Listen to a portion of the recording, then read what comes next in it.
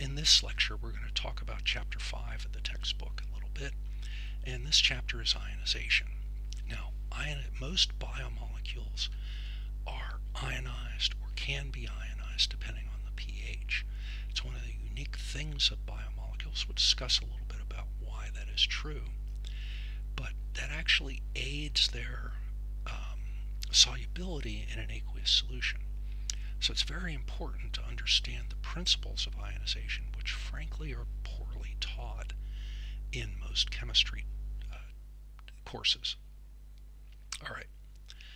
So first let's talk a little bit about water.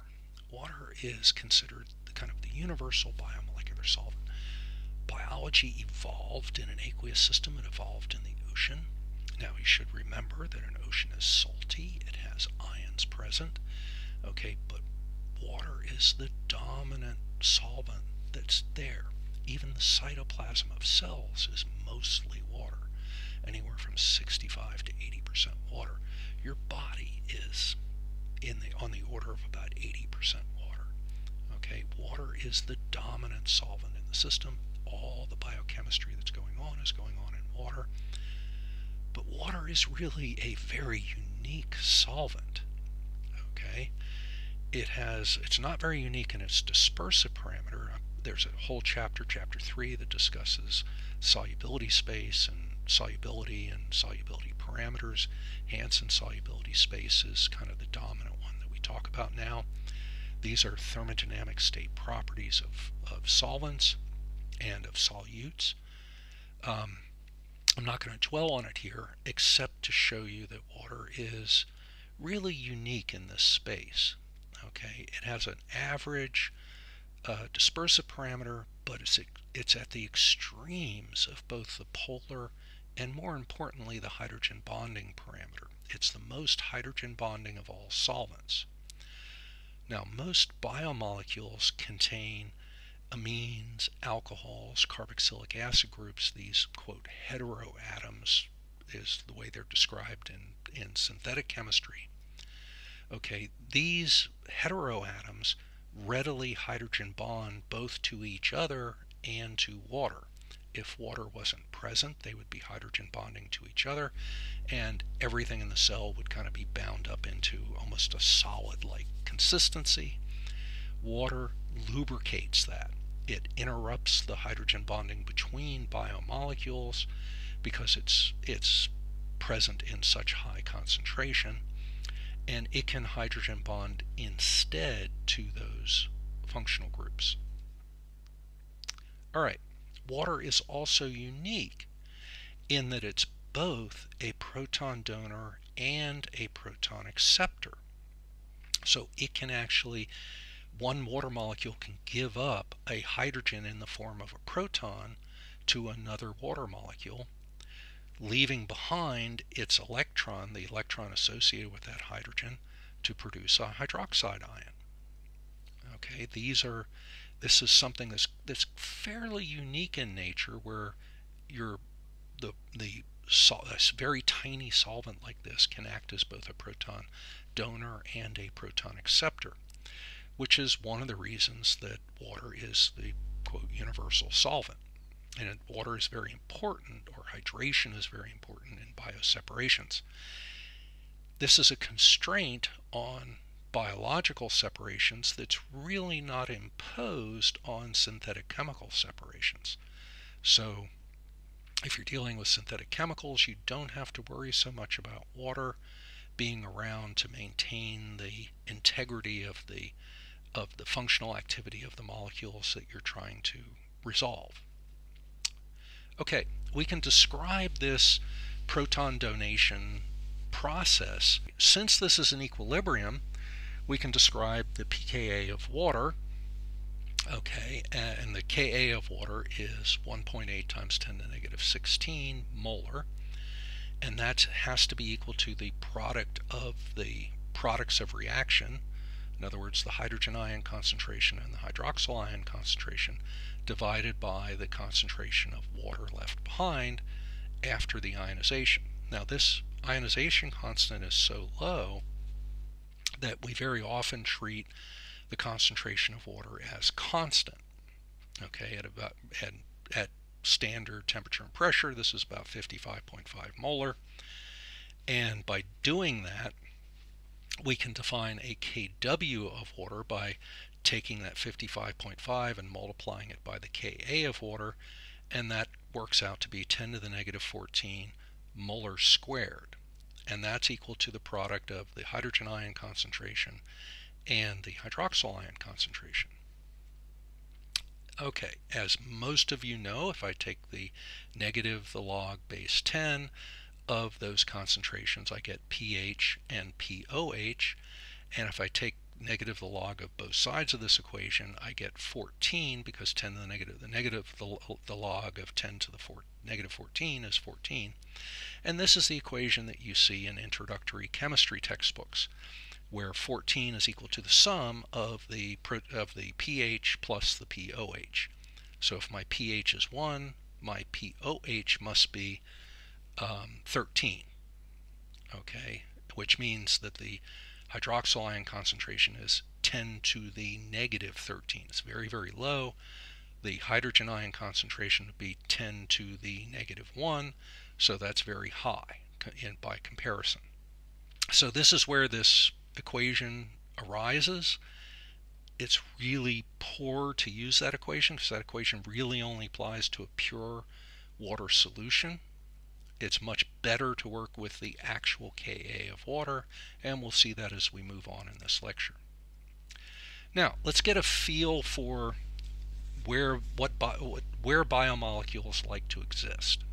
If 14 is equal to pH plus POH, if the hydrogen ion concentration equals the hydroxyl ion concentration, then pH and POH have to be equal, and that's pH 7 because 7 plus 7 is 14 so that tells us where are where's the solution neutral?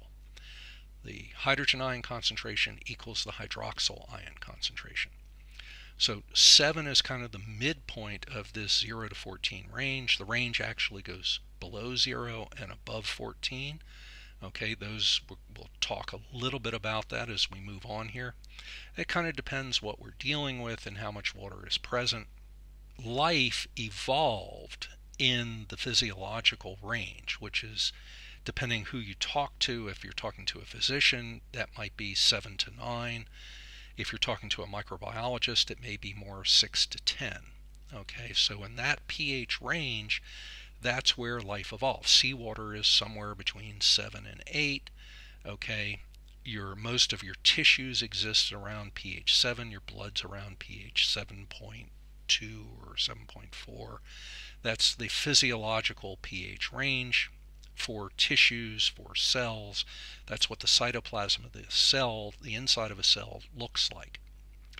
That's where biomolecules evolved. It's in that kind of pH that's where they're happiest, and we'll see why in a minute. Now, the periplasm is kind of the exception. If you think about the proton motive force, the, the cytoplasm pumps protons into the periplasm of the cell. The periplasm then you know the, the cell derives energy by pulling those allowing those protons to pass back through the membrane so the periplasm is always at a lower pH higher proton ion concentration, lower pH, than the cytoplasm is. And that's how the cell actually derives thermodynamic energy that way. And that's actually the primary source of energy for most cells is the proton motive force. So as we go up, we start to see things like tomato juice, uh, vinegar, um, which is about 6% acetic acid, is pH around 3. Um, gastric juices are, are really an exception. Okay, your stomach is a very low pH. It's two, uh, pH of 1 to 2. When you get an upset stomach, you add a bunch of hydroxyl ions. So that's why that's where milk of magnesia comes in. That's where Tums comes in. They they bring in hydroxyl ions that lower that buffer the pH and produce more water. Um, on the other extremes, we start seeing things like household ammonia for cleaning glass, cleaning things Uh, household bleach is very uh, high pH. Oven cleaners even higher. These are really caustic. You have to wear gloves when you're using them, otherwise they burn holes in your skin, that kind of thing. So in terms of where we do most bioseparations, we do most bioseparations in that neutral pH range, either 6 to 10 or 7 to 9, depending how you want to define it. We tend not to not to deviate too low or too high because biomolecules tend not to like those regimes. So that's a constraint on bioseparations that's not really present in traditional synthetic organic chemistry type separations where we don't necessarily deal with things that are that are happiest in an aqueous system. Now why is this the case? Well, let's look at our pH range here and here I've expanded the range a little bit. And what we see here is biomolecules tend to have a lot of these functional groups around. They have carboxylic acids, which ionize at a low pH to become ions, car uh, carboxylate ions, in the physiological pH range. Similarly, we have a lot of aliphatic amines, primary, secondary, and tertiary, which ionize just a, above the physiological pH range. So they tend to be, these bases tend to be uh, ionized in the physiological pH range. Now, why is that? Well, it actually aids the solubility of these molecules. If these are not ionized, we're, we're down to you know, a fatty acid of some sort or benzoic acid, they don't like to be in water. Okay, in order to pull them into an aqueous solution, we want to ionize them. So we want the pH to be higher to make those ions. We don't want it to go too high because then these amines are not protonated and this looks more like a synthetic organic material which is not water soluble, depending how long the R chains are. Okay, so we want those to be ionized to, to so that the molecule itself wants to be more soluble in an aqueous system. Now, this is not true of aromatic amines. Aromatic amines are net neutral in this, this region. Now, think about where would we see a lot of aromatic type amines? Well, the nucleoside bases are mostly aromatic amines. They tend not to want to be ionized in this region. Um, that's one of the, the forces that keeps the DNA and the RNA compact. It's, it's part of the reason the Watson chain and the Crick chain of DNA want to bind to each other. It's why you get those hairpin turns in RNA. It's because they don't really want to be in that physiological pH regime, so they tend to collapse on themselves. Um, I've kind of avoided alcohols here. Alcohols tend to be soluble mostly because of hydrogen bonding interactions. They're, they can they can share their hydrogen with other uh, other water molecules. Um, it's not an ionization; it's just a sharing. Phenol actually is uh, just outside the pH range. Phenols tend to be ionized. If they're substituted, they can move. That can move into the pH, into the physiological pH range. Most aliphatic alcohols are unionized in the physio physiological range. And an alcohol is kind of like water. It can also accept a proton, but it doesn't really like doing that. You have to be at a very, very low pH before that happens.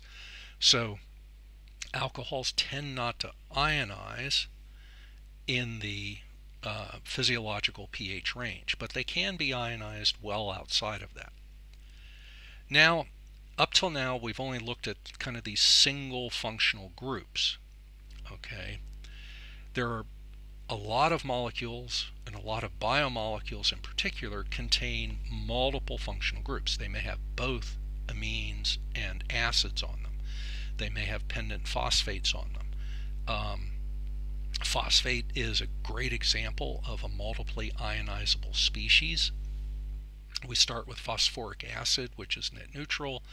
At a pH around 2.15, it will start to ionize to produce the, the first ion of, phosphoric acid, that PO4 negative or H2PO4 negative, can then go undergo a second ionization at a pKa of about 7.2 to become a doubly negatively charged anion. The doubly negatively charged anion can then, at a higher pH, give up a third its third proton to become triply negatively charged. Okay, this is a multiple a species with multiple ionizations. This is a simple inorganic one. Okay, now imagine if you think about a protein structure, some of the residues on a protein are negatively charged, glutamic uh, acid being one, some are positively or can be positively charged, lysine, histidine, arginine are examples of that. Okay, those groups then on a, if they're if they're attached to the same protein molecule impart the possibility of multiple positive and multiple negative charges to the same biomolecule. Okay, so we have to we, we have to worry about the number of ionizable groups, the number of total charges that are around, because the more charge that's there, the more water soluble it's going to be, whether it's a positive charge or a negative charge, um, and what the pH is, because that that uh, the the net charge of the molecule because if you have both positive charges and negative charges they attract one another. Okay so that's part of the structure of a protein is the charge interactions of the residues.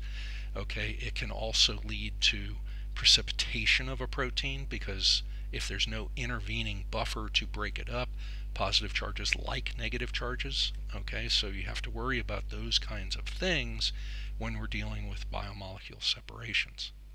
All right.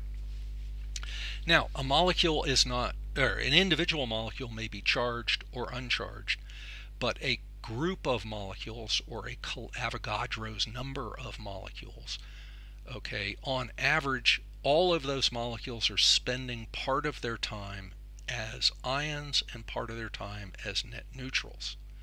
The fractional ionization, then, how much time it spends in one state or another state, or the fraction of the total ions that are ionized versus unionized, okay, is an important parameter. It's important for a lot of separations that we do.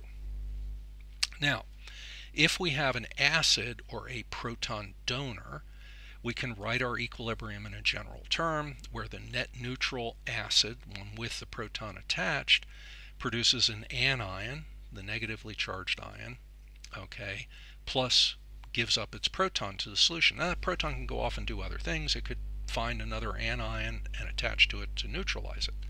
Okay, it could find a totally different uh, uh, anion and neutralize that. All right, so here, this is given by a Ka. We've seen this equation before. The concentration of hydrogen ions, we can substitute 10 to the negative pH for that.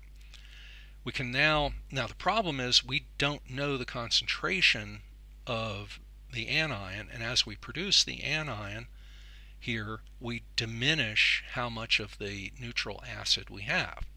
But those two are related to one another. Okay, so we can write a material balance for the total acid concentration, the, the, total amount of acid that we add, or the concentration of that in the solution, because we know what we added.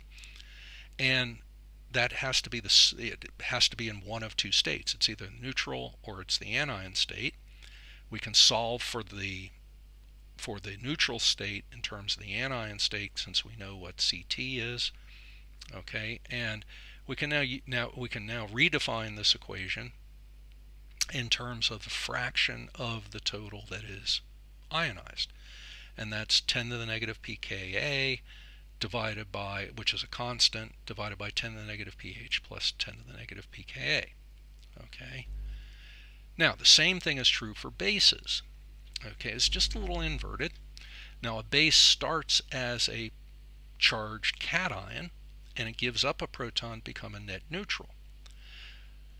We can write out the uh, equilibrium expression for that just like we did before substituting 10 to the negative pH for the concentration of the protons that are produced. Again, we know the total amount of base added, but we don't know how much is in each form. So we can solve for the neutral in terms of the positively charged cation concentration and the total and define a fractional ionization for the base in terms of the total base present Now here it's 10 to the negative pH divided by the sum of the 10 to the negative pH plus 10 to the negative pKa. All right. So the form of the equation is very similar, but it's subtly different. Here we have pKa in the numerator, here we have pH in the numerator. Now, let's think about these equations a little bit. If if pH is is um, very large compared to pKa, okay, then 10 to the negative pH is very small because it's a negative number here. 10 to the negative pH is very small compared to 10 to the negative pKa. So at high pH, we have 10 to the negative pKa divided by 10 to the negative pKa because this term becomes, the 10 to the negative pH term becomes negligible and the fractional ionization of an acid goes to 1. Where pH is a very small number compared to pKa, the pKa term can be neglected and we have 10 to the negative pKa divided by 10 to the negative pH, which is a very large number, and the fractional ionization goes to zero or it gets very, very small. So fractional ionization is always between 0 and 1.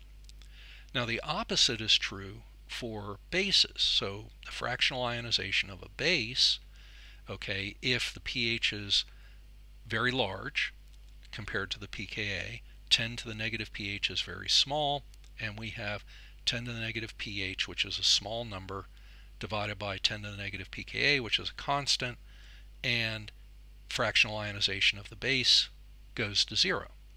If pH is very small, 10 to the negative pH is very large compared to pKa.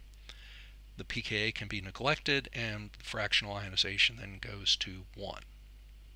So bases add protons to become ionized at low pH. Acids give up protons to become ionized at high pH. All right.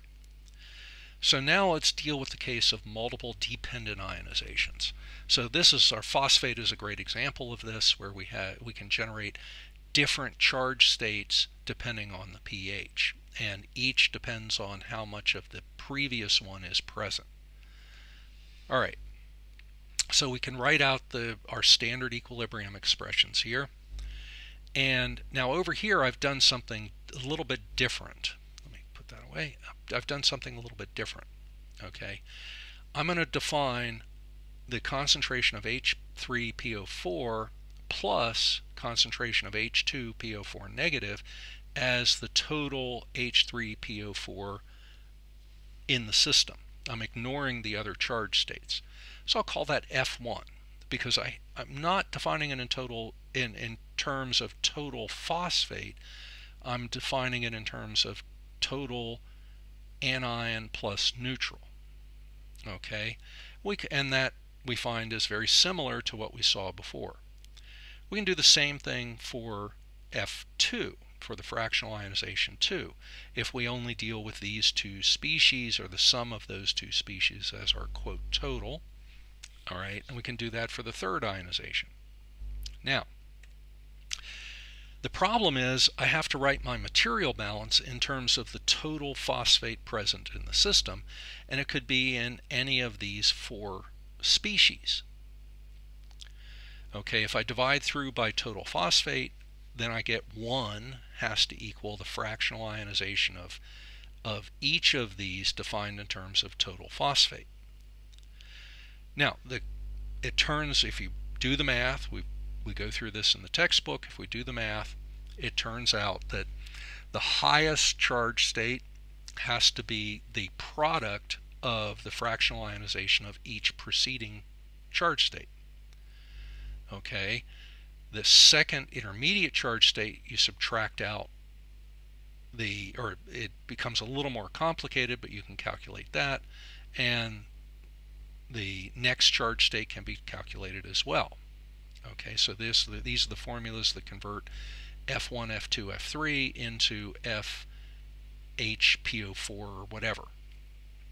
All right, so now once we have those three, all we have left to do is solve for the net neutral, which we can do from equation 4, and we can solve for the net neutral and we know the fractions of all the different charge states. This is one way to do multiple dependent ionizations.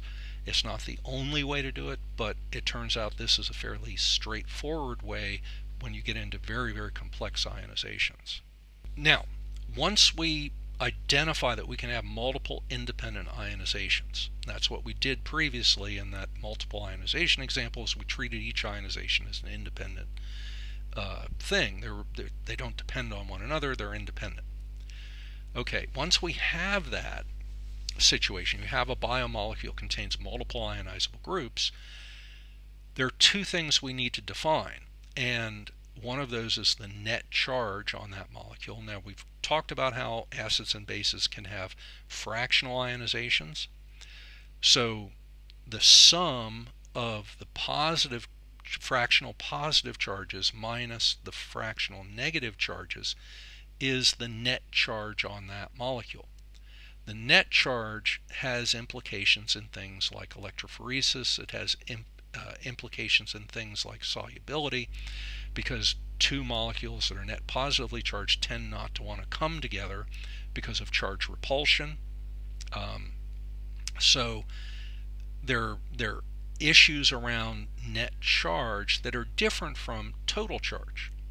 Okay, total charge, if you have, if you're doing ion exchange, for example, the total number of positive charges, independent of the negative charges, is important to know. So if you have a if you have a lot of positive charges around, it will want to bind to the resin more than something that has few positive charges around.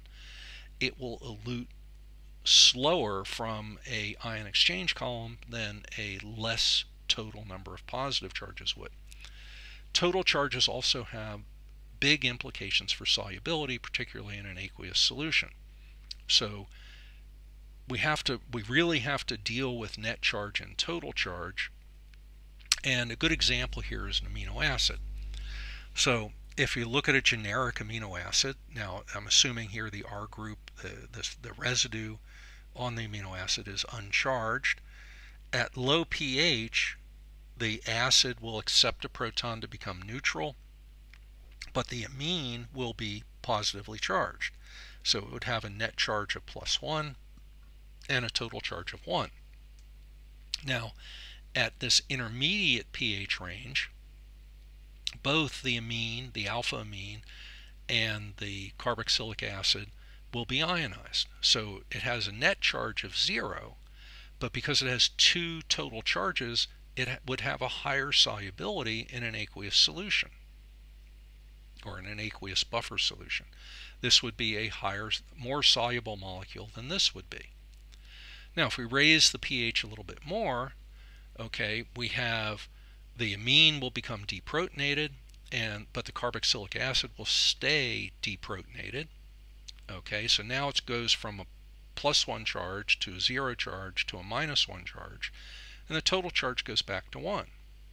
Okay, so we we can see that biomolecules will often vary their charge state from plus to minus depending on the pH.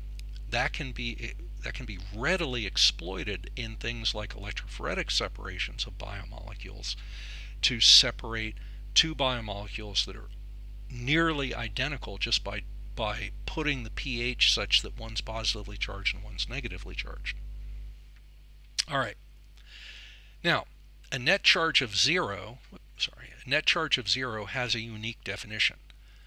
Where the where the the sum of the positive fractional charges equals the sum of the negative fractional charges, that's called the isoelectric point, or the pH, P, PI is isoelectric point.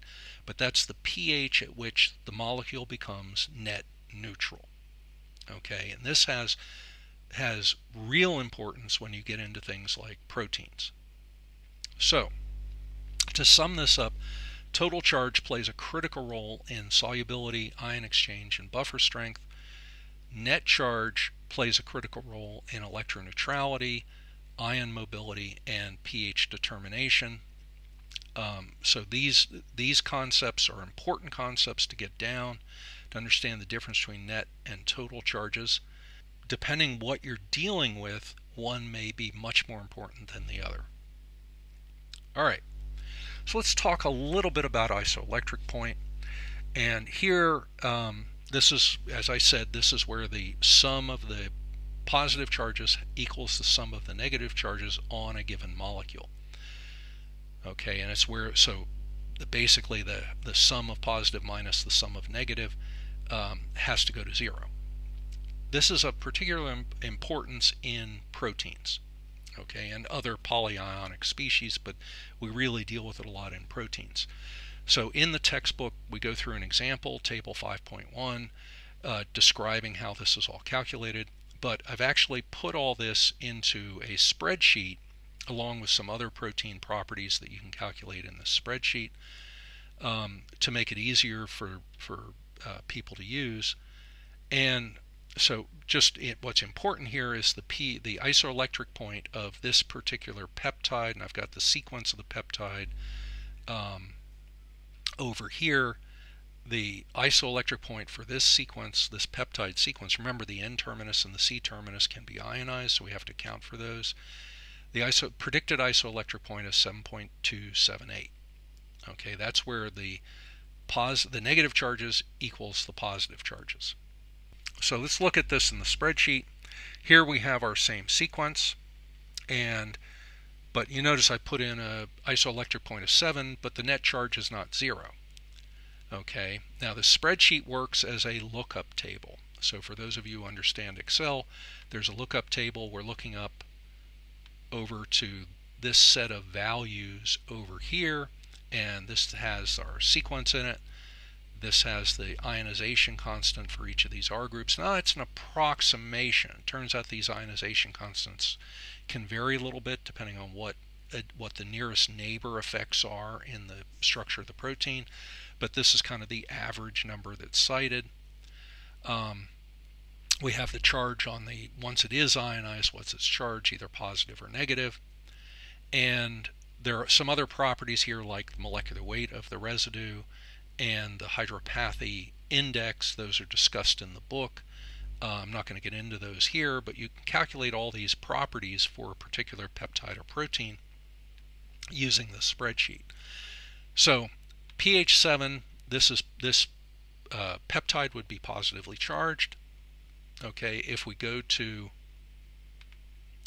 Solver, which is an add-in, uh, an optimization tool in Excel, and what we want is we want to set that net charge by varying the pH, and we want to set that charge to a value of zero. So we can solve. And this is just going through an optimization routine. And there we go, it's done. The P, uh, the isoelectric point is predicted to be 7.278, which is exactly what we had in our table. And here, you know, this is as close to zero as the optimizer will numerically get. That's pretty close to zero. It's 10 to the negative 8. Okay. Um, now, what if we were to change the sequence? So let's take out this arginine. Let's put in a glutamic acid. Okay. Now, that peptide would be net negatively charged, almost a negative 2 value. So it has a different isoelectric point. So let's go back to solver. If we go into solver and we run it again,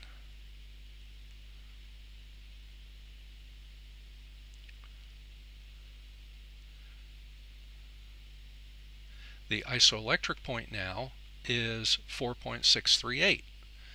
Okay, so if we were to separate these these two peptides, all we have to do is put the pH one way or another, and we could electrophoretically remove the other peptide from the system because a net neutral material will not move. And so pH is very important in a lot of separations. Okay, now this these this molecule is now zero in terms of its net charge at this pi. Okay, now we can go back, put that back, and if we wanted to, we could add another amino acid. So that's a single point mutation in a peptide causes that kind of PI difference. Now, obviously here I have changed for, actually, let's go back here and let's put in a valine. valine has no charge associated with it. It's not ionizable. If I do that, I've taken out the arginine, which was ionizable, and I've replaced it with a valine, which is a net neutral. Okay, so if I run solver again,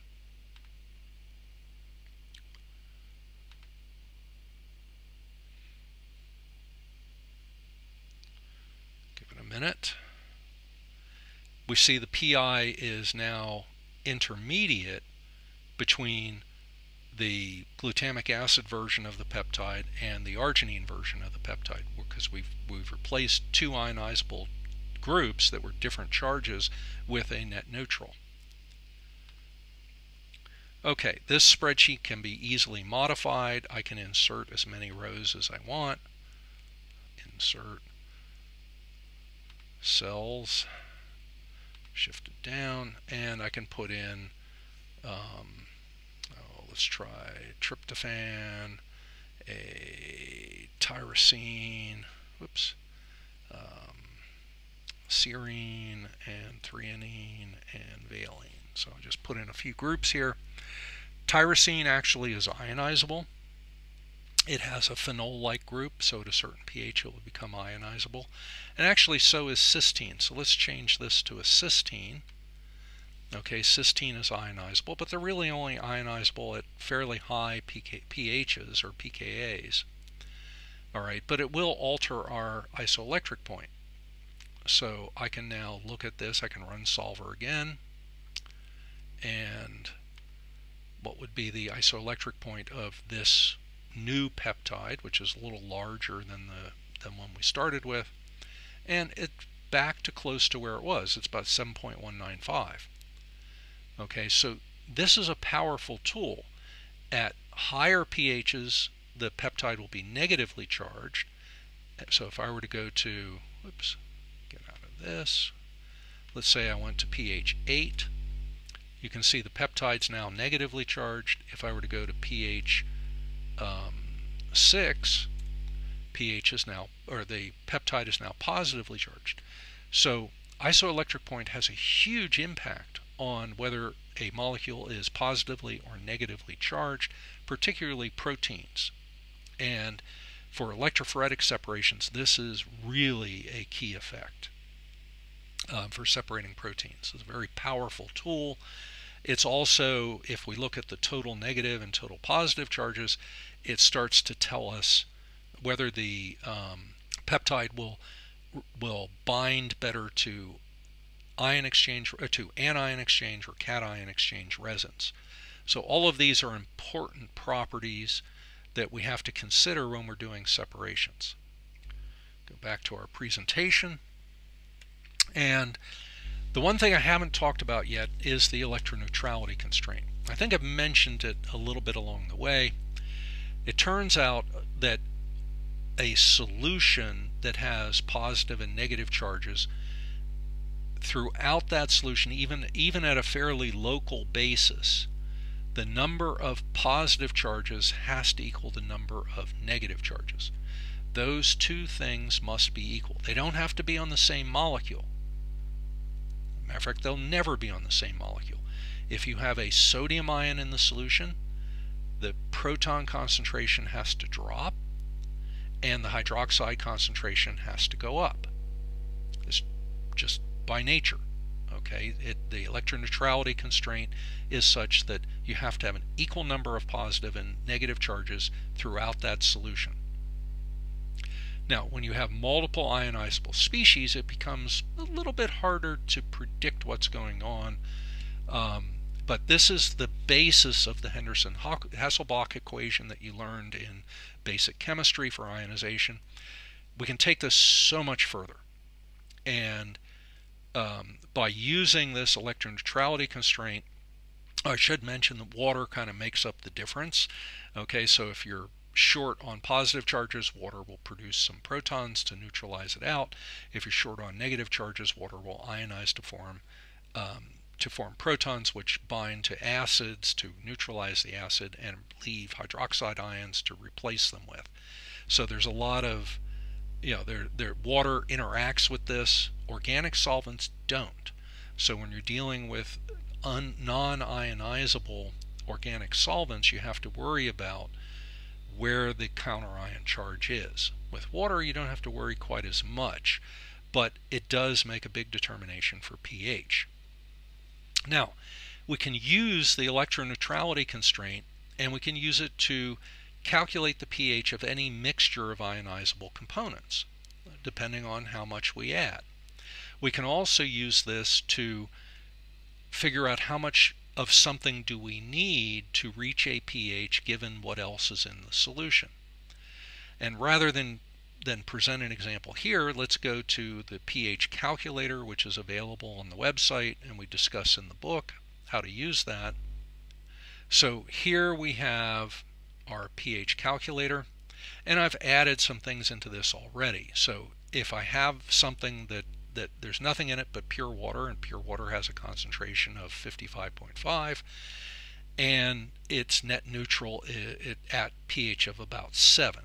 Okay, so here's the sum of the positive charges, here's the sum of the negative charges. If I add those two together, I have no error. So neutrality for pure water is pH 7. Okay, if I were to add, uh, let's say I wanted a 100 millimolar phosphate buffer, which is a common buffer, I put in 0.1 molar for the total phosphate. Okay, now what would be the pH if I was adding phosphoric acid? What would be the pH? Well, I go to solver. Okay, and in solver I say I want this cell, which is my error, to go to a value of 0 by changing the pH. And I can solve that. Give it a minute. And it'll get there. There we go. And it says the pH of a 100 millimolar phosphoric acid solution would be 1.65. Well, I don't want pH of 1.65. I want something at around pH 7.2. That's where phosphate buffers really well. So if I want to be at 7.2, I put that in. I go to solver. Oops. And now I, I set my error. Okay, I've got an error here. I set, want to set that to a value of 0. But now I want to add sodium hydroxide. Now, think about sodium hydroxide. Sodium ion is what's called a hard ion. It doesn't accept or donate a proton. Okay, it's just always a positive charge, so it has an infinite pKa. The hydroxide, however, will pick up protons to become neutral water. Okay, so it's really part of the water concentration. So by adding so many sodium ions in the form of sodium hydroxide, okay, I can alter the pH. Now, I can do that. Uh, let me find out how much sodium I need to end up with. So I'll run solver to make the pH 7.2. I need almost 0.15 molar sodium in my solution. So I need more sodium ions than I have phosphate ions around in order to make pH um, a pH of 7.2. Say phosphate buffered citrate. Okay, so if I go down here to citric acid, that's another multiply charged thing. Let's just say acetate instead. Okay, so if I come down here and let's say I have 50 millimolar of acetate, okay, Notice I've got it now an error up here. So how much more sodium would I have to add in order to compensate for that acetic acid? I can ask that question by going to solver and run it.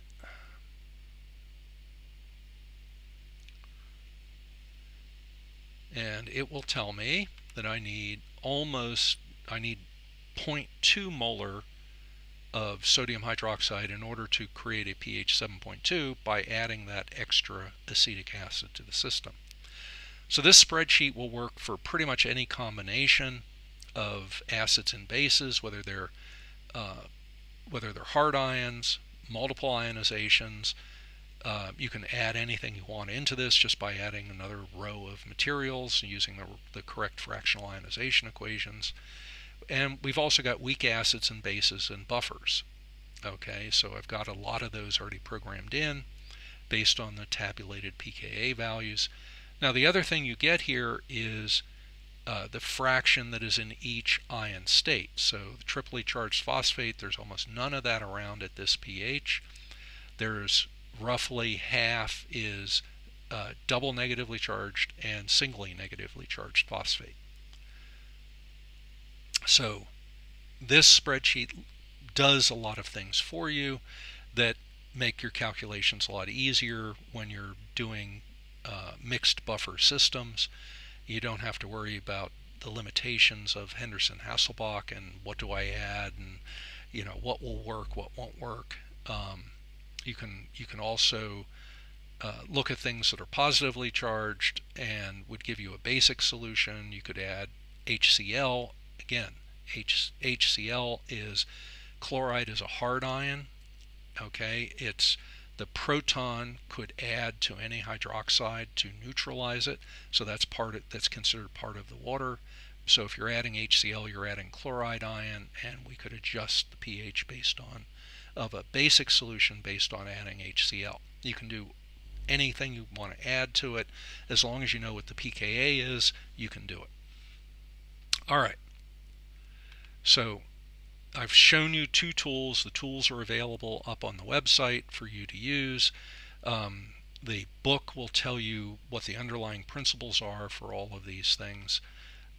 That's the end of our lecture here, and I encourage you to buy the Bioseparations book. We talk about physical properties of biomolecules, how those can be exploited. So we can talk about solubility, size, ionization um, of the of biological molecules, how to calculate those. The uh, solubility parameters are discussed. There's a whole chapter on that.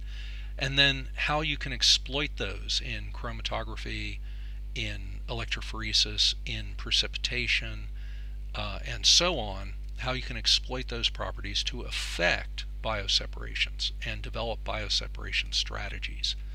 Um, and so I encourage you to get the book. This is just one little part of the book to entice you into that. Thank you.